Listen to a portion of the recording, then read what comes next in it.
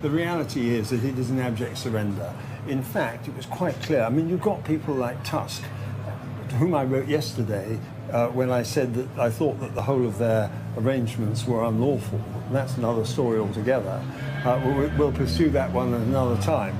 But basically saying, don't waste our time. I mean, who do these people think they are?